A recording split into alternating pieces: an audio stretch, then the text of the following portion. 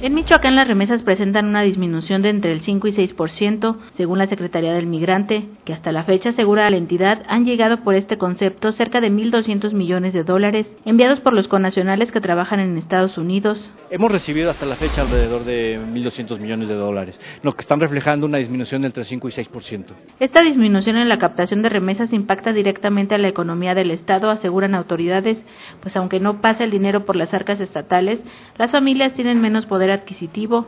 para lo cual se prevén acciones de apoyo a estas familias de migrantes que reciben menos dinero por medio de un fondo de 30 millones de pesos para crear proyectos productivos. Logramos mediante este proyecto echar a andar alrededor de 2.000 proyectos productivos, los cuales en números conservadores habrán creado alrededor de 6.000 fuentes de trabajo. Entonces, con medidas de esta naturaleza estamos tratando de paliar cuáles son las dificultades financieras que están teniendo las familias al recibir menos recursos. Eduardo Becerril, migrante michoacano, quien ya estuvo en Estados Unidos trabajando,